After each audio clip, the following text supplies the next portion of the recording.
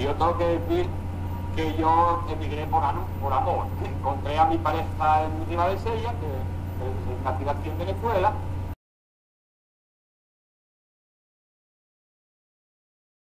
son una gente increíblemente simpática y, hospitalaria, como digo, ¿no? Entonces, no, me costó mucho realmente. Claro, eh, gracias, a Dios, mi esposa, por supuesto, aquí tenía sus amistades sus contactos, y dentro de ese grupo social me fui integrando y, fui pudiendo, fui pudiendo eh, empezar con mis primeros, primeros trabajos por aquí, ¿no?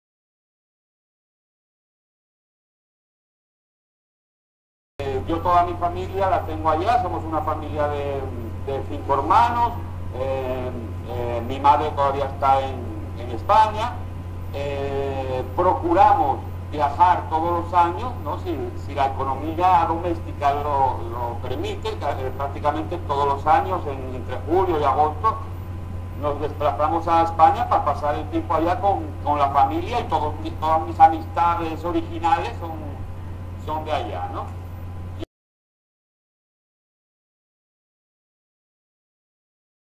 no me, no me impresiona tanto mm, desde aquí. Estamos hablando desde Venezuela y en Venezuela hay una crisis ahora mismo social, hay una crisis de valores hay, y hay una crisis económica un país tan rico, lleno de recursos.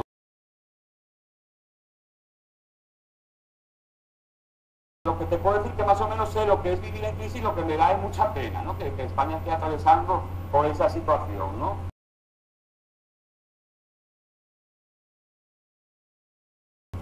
Sí, eh, mantengo, mantengo la, naturalidad española.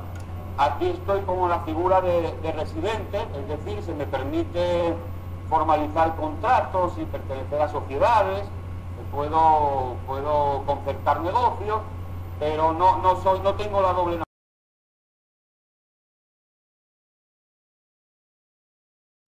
bueno, lo, ideal sería, digamos, concluir aquí nuestra, nuestra vida laboral, formal, hasta cierta edad, pero yo siempre pensé hacia los cincuenta y pico, o por ahí, eh, si se puede, pues ir pensando en, en volver, en volver a la tierra.